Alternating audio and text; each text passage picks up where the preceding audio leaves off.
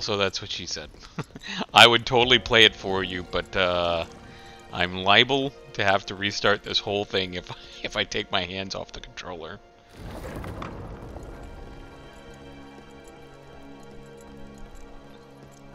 That's what she said.